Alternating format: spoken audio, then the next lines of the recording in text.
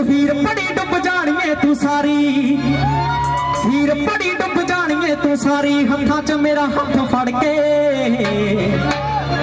ਤੂੰ ਕਿਸਾ ਸਾਡੇ ਵਾਲਾ ਛੱਡ ਗਈ ਵਿਚਾਲੇ, ਕਿਉਂ ਦੋ ਚਾਰ ਪੰਨੇ ਪੜ ਕੇ। ਸਮਝ ਆਇਆ? ਸਮਝ ਆਇਆ? ਤੂੰ ਕਿਸਾ ਸਾਡੇ ਵਾਲਾ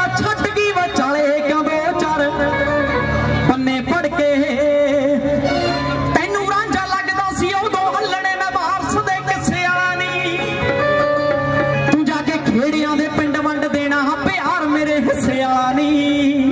ਹੈ ਜੋਗੀ ਬਣ ਕੇ ਵੀ ਛੱਡ ਆਉਂਦੇ ਟੱਲੇ ਉਹ ਬਣ ਕੇ ਵੀ ਛੱਡ ਆਉਂਦੇ ਟੱਲੇ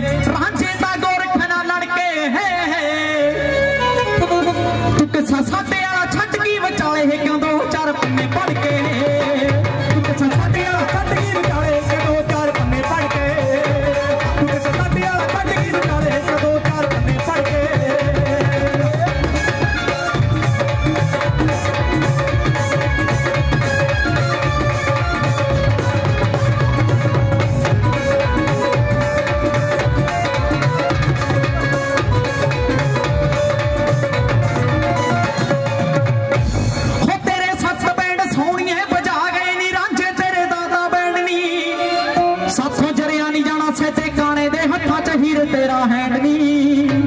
ਹੋ ਮੈਨੂੰ ਪਤਾ ਹੈ ਤੂੰ ਹੋ ਜਾਣਾ ਪੱਕੀ। ਹੋ ਪਤਾ ਹੈ ਤੂੰ ਹੋ ਜਾਣਾ ਪੱਕੀ। ਨੀ ਐਨਾ ਰਾਈ ਸੈਦਾ ਫੜ ਕੇ ਤੂੰ ਕਿਸਾ ਸਾਡੇ ਵਾਲਾ ਛੱਡ ਗਈ ਵਿਚਾਲੇ ਕਿਉਂ ਦੋ ਚਾਰ ਪੰਨੇ ਪੜ ਕੇ।